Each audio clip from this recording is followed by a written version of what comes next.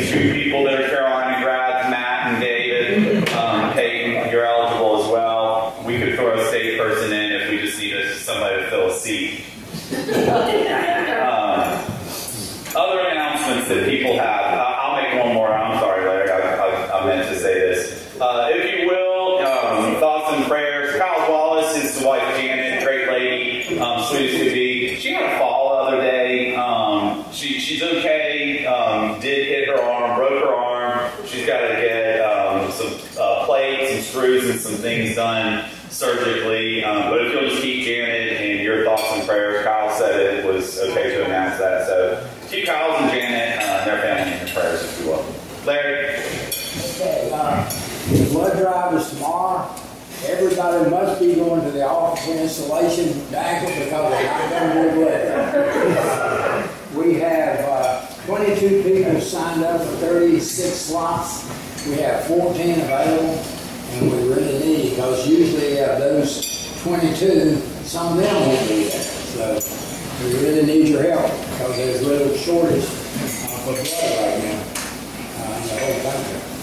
So we need some people to come out. Is this on the Rotary uh, Facebook page? Where we can share, It can be. install that one? It can be. Push it out to the outside. Yeah. David, you put that on there? I'll, I'll show you. Absolutely. You're welcome.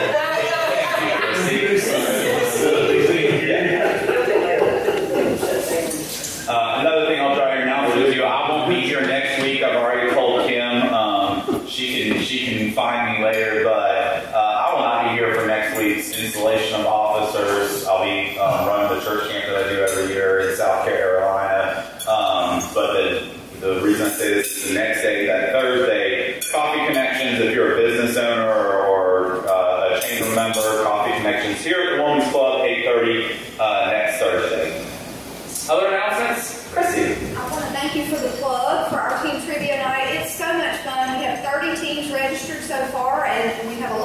um, today and tomorrow. So hope to see you there, and I hope you do win. Uh, I also wanted to let you know that we have pushed out a community survey, and I hope that most of you got an email yesterday with a link to do that. Uh, our current strategic plan carries us through the end of this year, so we're in the process of, of thinking about what our strategic plan looks like for the next three years. And we really want feedback from our community about the work that we're doing, what you think we should be doing, what we could do better, what we can improve.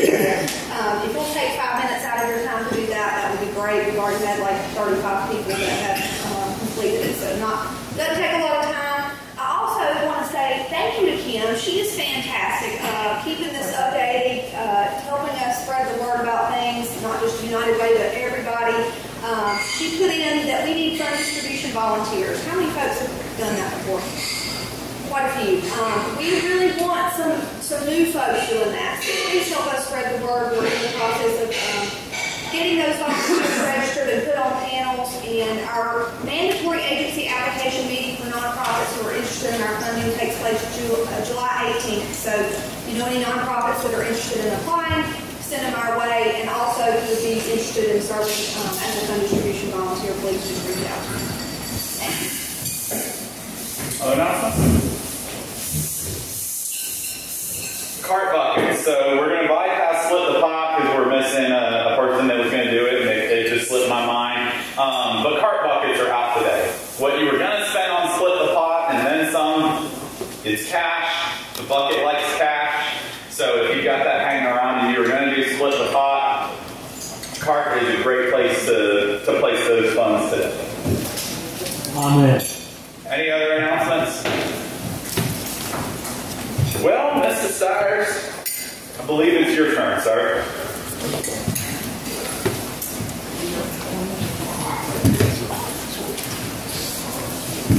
So it's other. This may be the weirdest birthday celebration we've ever had. It's, it gives a new definition to virtual reality. Here's why. June is here, which means that summer is near and school is out, vacations are on the horizon. It's a good month, and I'm always reminded by somebody, I'm not sure who it was, that said, I'm glad that I live in a world that has a June. We have five families Rotarians celebrating birthdays in June. I've seen one of them is here.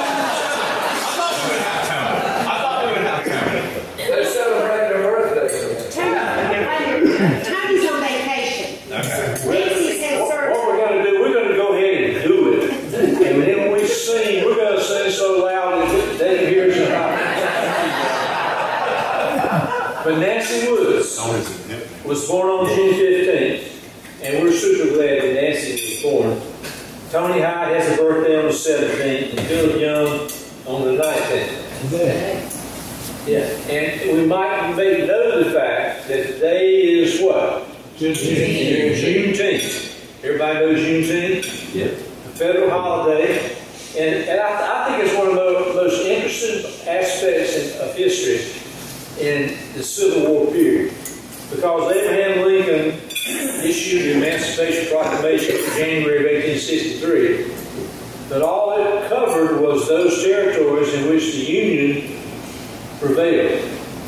And so he freed all the slaves in the areas that the Union had control of, didn't free the slaves in the Confederacy. And so what happened then is it went on with April 9th, of 1865, up at Appomattox Courthouse. Robert E. Lee showed up, dressed in his finest, got the Ulysses S. Grant there in front of him, dressed in his rags, his, his uh, working clothes, had a, had a terrible migraine headache, and Lee surrendered to Grant on April 12, uh, 9th, 1865. The, the problem was, as you can imagine, it took a while for the word to get out. And uh, so, where newspapers were published and the word got going, you know, everybody started enacting the laws that were carried out by the Emancipation Proclamation and then the 13th Amendment, which outlawed slavery, made it in the constitution. But there were a whole bunch of people in the hinterlands that were still fighting, and the slaves were still slaving. And so what happened was in, in June of 1865, about 2,000 Union soldiers showed up in uh, Texas, and they basically said, "And you guys heard? I mean, the war's over, and the slaves are free." And so that set off a celebration because about 250,000 slaves now were free and didn't even know it. They'd been free since April, but they didn't even know about it. So to, to me, it's, it's a unique period of history, and, and it's worth celebrating. So Phillips got a great day to be celebrating as well. Rick Phillips on the 20th and Tony Mazzini on the 24th. And uh, a lot of people think birthdays are sort of bittersweet. You know, like uh, I'm happy that I'm still here, but I'm sad that I'm just so old. And here's another blooming number added to my birthday tally. And uh, I think that's called oxymoron, bittersweet. It's, uh, it's an expression, a figure of speech that defines the contradictory words and mean with the opposite meanings. So like civil war. Hey, how you have a civil war? Clearly misunderstood. Jumbo shrimp, Forrest Gump was like that. Virtual reality. Bottom up. Cold as hell. Poor hell. Pretty ugly. Old news. Only choice. And my favorite one, good grief.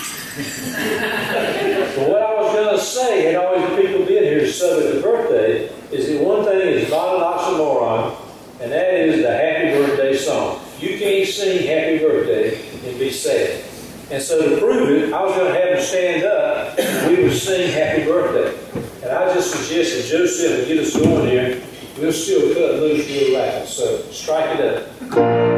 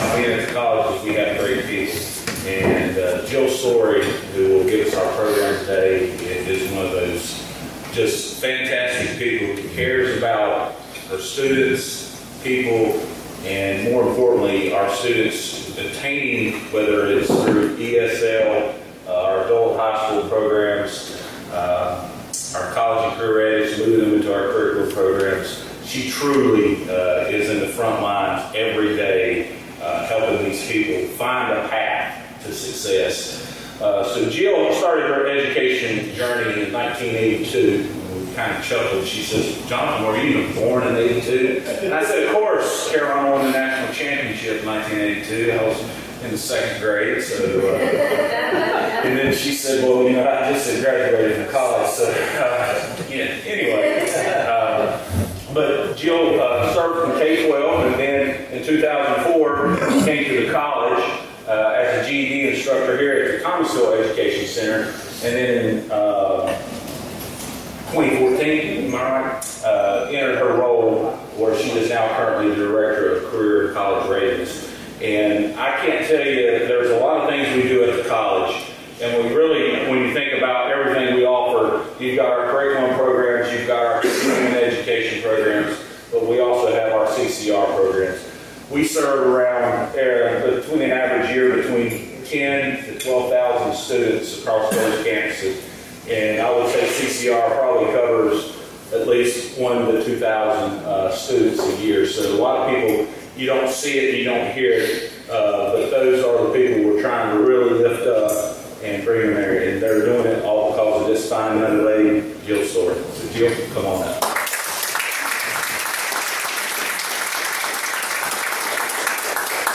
Jonathan, she cares about her neighbors too. That's right. I, I am one. That's right. Well, hello, everybody.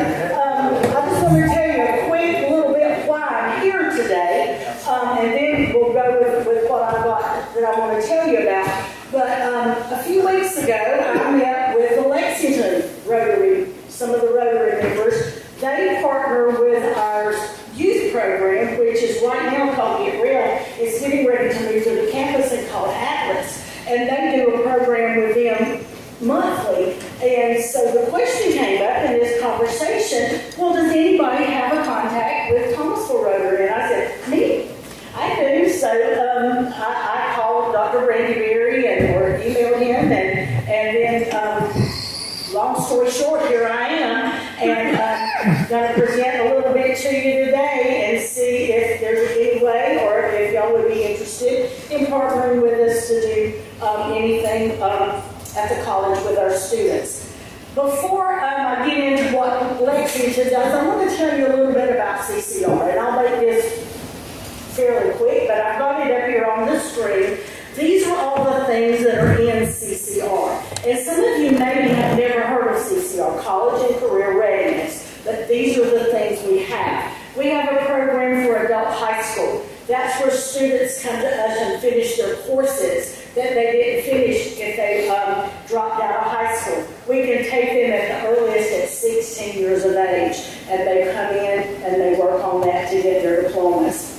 High school equivalency. People are probably familiar with the GED program. Well, now we have two tests that the students can take to get their high school equivalency. One is the HiSET and one is the GED. They come in and they take a series of assessments to get their diplomas that way, which for a high school equivalency. We have English language acquisition. It used to be called ESL, English Second Language. We have lots of students from lots of different countries. I think the last time I checked countries, I think we have from 19 different countries in our program right now.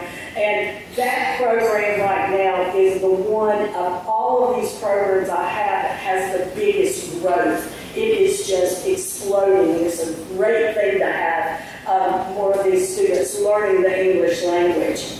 Occupational network. These are students that come through the high school with an occupational course of study. Most of these students have some type of disability, um, which is called IDD, which is uh, intellectual or developmental.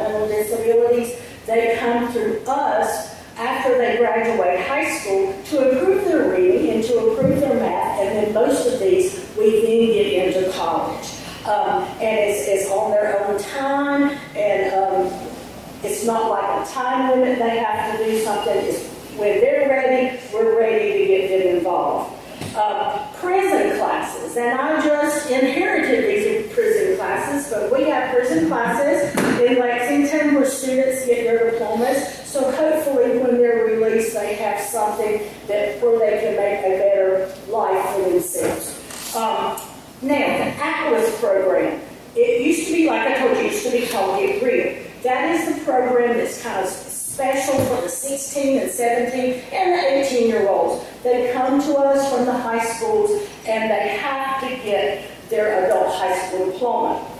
Um, we um, have them come in, they work on this diploma, and there's other things that they do. We prepare them for life. We, or we try to prepare them for life. We try to get them involved in the, the courses that, that Jonathan has in the um, continuing ed department. We try to get them involved there. We try to get them not just to get a diploma, but to move on and to make something better of themselves. And then the last thing we have here is the College Transition Center. Used to be called Developmental Math and English. A lot of you probably remember it that way. But this is a program that we have that the students come in, and if they're not quite ready for the English and the math classes, they go to these classes, and then all of these students are prepared to be successful.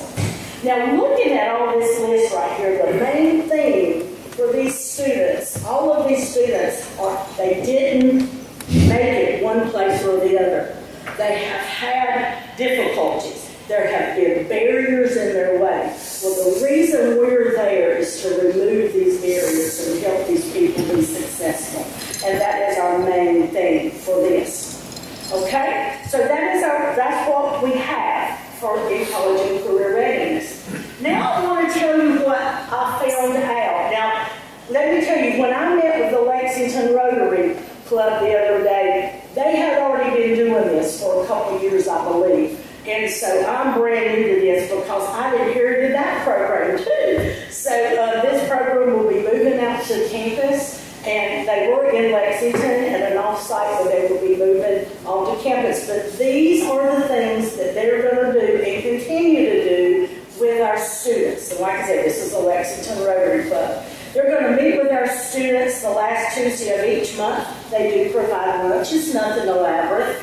Those students are happy with anything they bring them. It might be a sandwich. It might, you know, whatever it is, they bring them a sandwich. And then they have gift cards for accomplishments for completing credits. You know, I told you these students complete their credits to get their diplomas. Um, if they graduate, they, they give them a gift card. And then they always have a student of the month that they give them some type of reward for that. Uh, they offer presentations on leadership. We want to call these lunch and learn. And that's something what that just my mind was really turning there because I know a lot of you, and I'm just thinking the expertise that's sitting in this room right now and the leadership that some of you could share with these students to help boost them on to be successful. Um, they um, lead field trips. Um, there is a member in their club that I think is a pilot, so he takes them out once a year to the, um, the airport, and these students just love it. So they see a plane, they get to get on the plane and sit on the plane for a minute. They don't get to fly, but they can sit on the plane and they, they get to do some stuff. But some of these students have never been had, never have had those opportunities to do those things. So this is something that they can see and do that that they wouldn't have another opportunity to do. Uh, we want to broaden the, these students' horizons. We want to introduce diverse cultures. And we have some of the members come and discuss mission trips of what they've seen in other countries. Our students, we have had students that haven't really been out of Davidson County, if you can believe that. So if they hear about things, see pictures from other things, hear about other cultures, that just really piques their interest and gets them to think about other things. And then one of the members, and this is why I put this on this, they said, we want to show these students that they can depend on us. And that was so, so, so important for me to hear because we have students from the Lexington Children's Home. We have students that parents are in the, in the home. They might be with a grandparent or they may be with family, uh, some other family or friends. And people haven't been dependable for these students. And that gentleman said, we want to show these students that we are dependable and they can depend on us. And that to me was the world, that was gold. So that's what they're doing. So um, one of the things that I'm, I'm wondering, and this is something that, you know, if y'all were interested in partnering with us or coming behind Lexington and helping Lexington or whatever you want to do, we would welcome anything. Of course, they do this only for the Atlas program. They don't do it for any of the other programs. They only do it for them. But we are, we are so appreciative of what they do, and the students love it. Does anybody have a question for me? Sorry. Okay. Yes, sir. I'd like to say one thing everybody should keep in mind that I've done, and that's starting scholarships out there for the school. Yes. And I've done it over a period of time, and, and most important thing is to get the notes at the end of the year from the students saying why they were able to go, and it helps them out. That amount of money given to a big college is just dropping short kids in. But it's really a thing to think about seriously, starting a scholarship. I'm sure that you will out there can help them. Oh, It's a lot of anything. and thank you so much for that. There have been so many students that have been blessed with, um, with, with the help that, you know, you've given through scholarships and, and other things. But, you know, we do appreciate anything and everything that, that you do for us.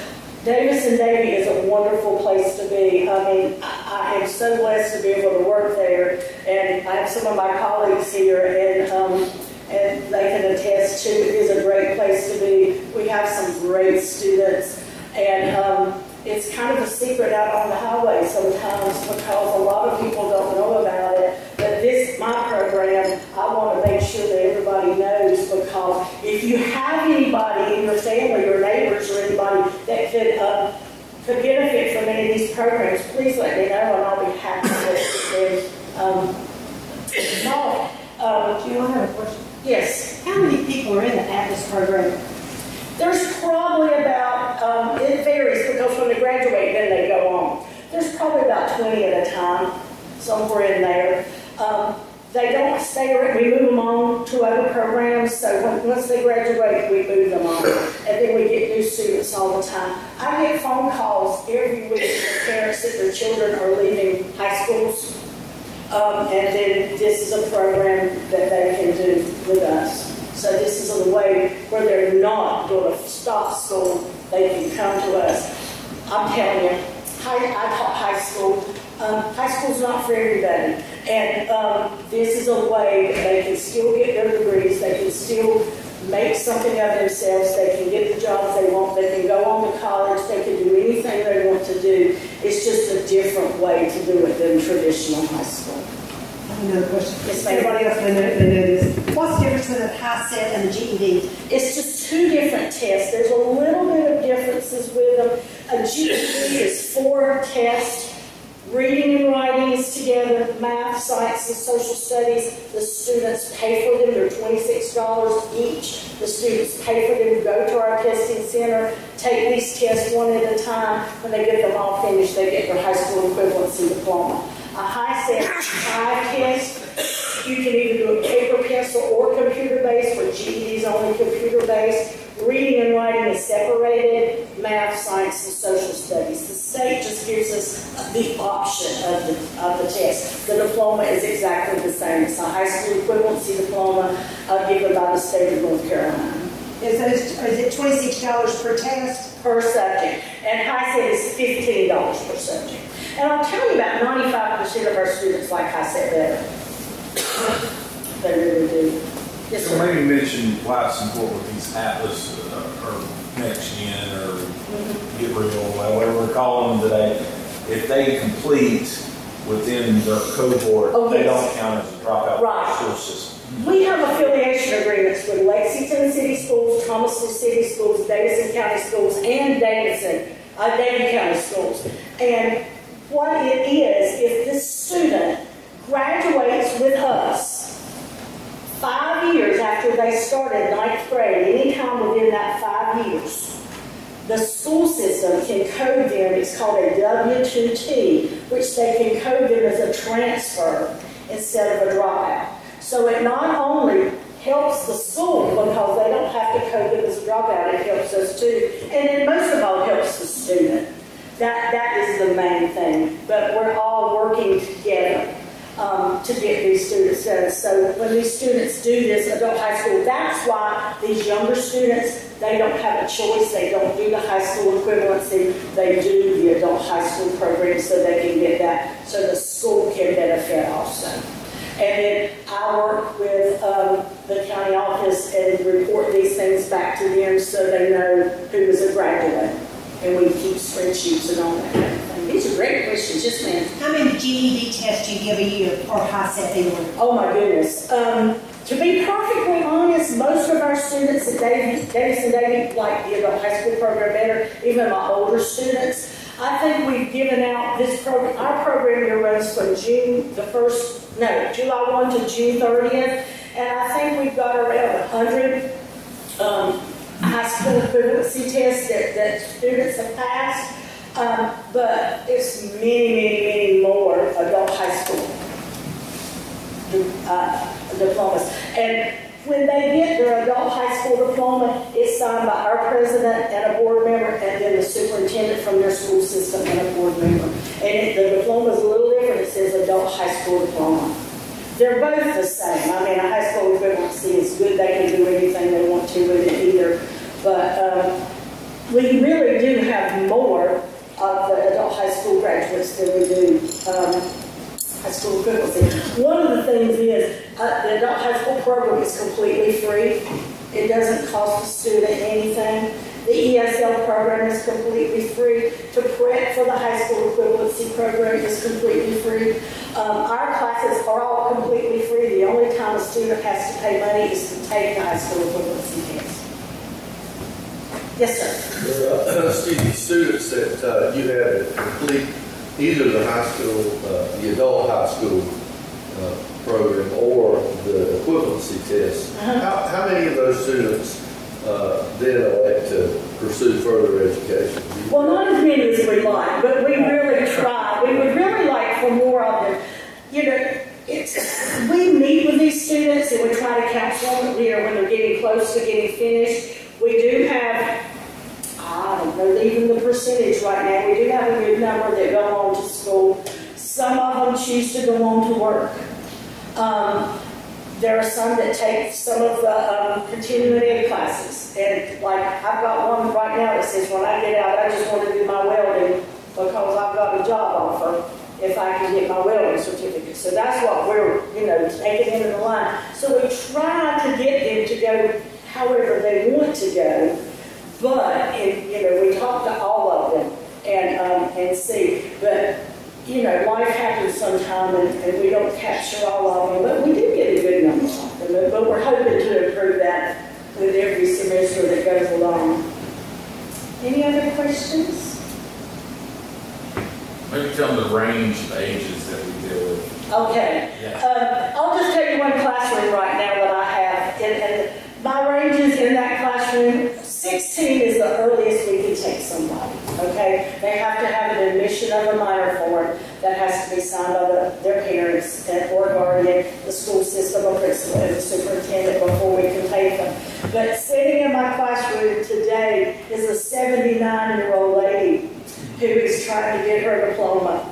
So um, we graduated people who are 80, 81. It is just, that is the whole range. I mean, you're going to see a little bit of everybody. So it's never too late.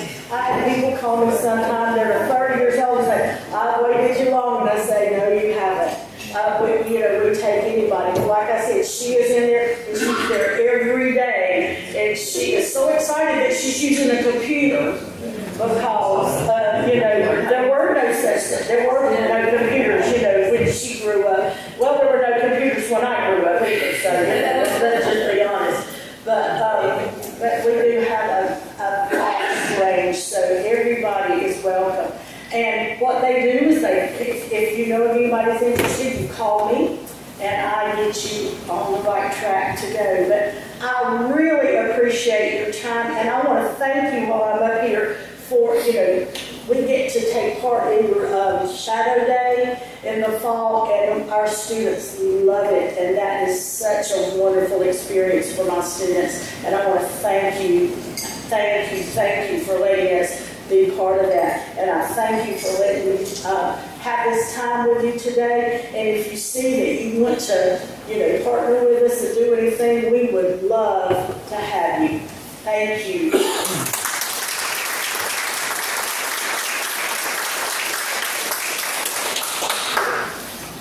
Thanks, Jill, and thanks for reaching out to us. We appreciate that. And so, some of you may know, but I think most of you don't. But last July, the Thomasville City Schools um, nominated me um, to be their representation on the board of trustees for the college, and that has been one of the coolest boards that I've ever gotten to serve on. Of retired superintendents and um, other people in the community. There's about 12 of us on the board, and you, you get to see all the inner workings. And so, from that perspective, Jill, it's really exciting to have you out in the community, um, especially at the Rotary clubs, um, presenting the program. So that, that means a lot from that side as well. Um, we appreciate it. Um, I was looking through the, the bulletin and kind of making some notes on some stuff um, of what's coming up, and I started looking at it. I will not be here next week running that church camp. It's the installation of officers, and then we've got a week off for the Fourth of July. So it'll actually be quite a while before um, I get to see you all. Mary Jane, I believe, is back next week. Um, so prayers for her for safe travels of coming back. Um, but I will look forward to seeing everybody. Um, and then you're stuck with me for a while, and then I go on our trip out So you're stuck with um, Jason for a while, and then you're stuck with me for several months. So um, I'm, I'm really excited, um, and we'll share thoughts and words and wisdom and everything like that later at Club Assembly of what's to come for 24, 25. But um, I appreciate everybody's support while Mary Jane's been out and everybody that's been helpful through that. Um, it means a lot. So if you will